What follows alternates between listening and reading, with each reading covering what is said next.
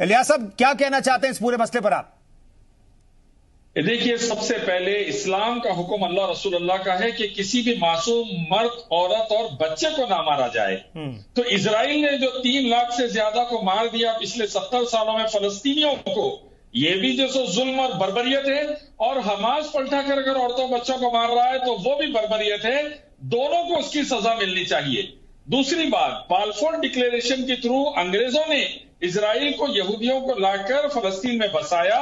वही अंग्रेज़ जो 200 साल तक हम पर बर्बरियत से, बर्बरता से हुकूमत करके भारत को बर्बाद करे, वही अब फलस्तीनियों को बर्बाद कर रहे हैं इसराइल के थ्रू।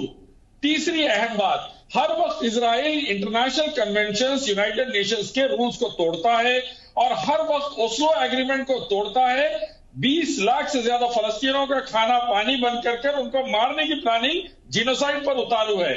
और इसके लिए दुनिया का हर अच्छा देश निंदा कर रहा है इसराइल की। और जो जालिम इसराइल की मदद कर रहे हैं, वो लोग बिल्कुल ही गलत कर रहे हैं। चौथी और आखिरी बात, महात्मा गांधी से लेकर वाजपेयी जी तक और वाजपेयी से लेकर नरेंद्र मोदी तक।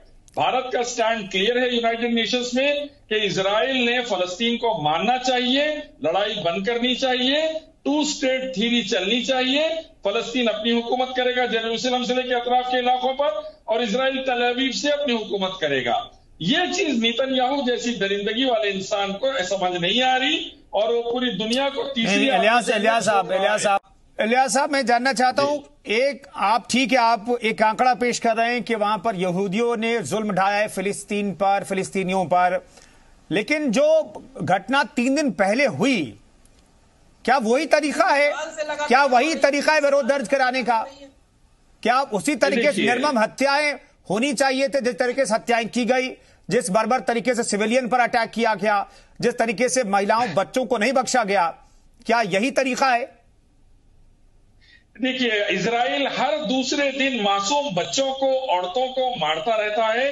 कोई न्यूज़ नहीं बनती, कोई डिबेट नहीं होता। आप मुझे कभी भी नहीं बुलाते।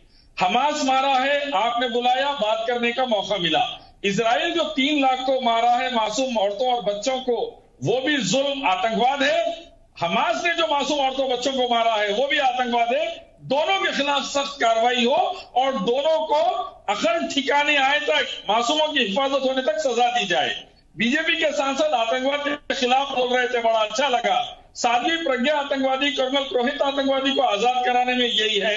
उसको मेंबर ऑफ़ पार्लियामेंट बनाने में यही है जो मासूम हिंदुस्तानियों को मस्जिद में बॉम्ब ब्लास्ट से मारे जिसको हिम्मत करके नहीं नहीं बीजेपी ने लिया सफरुद्दीन साहब लिया साहब।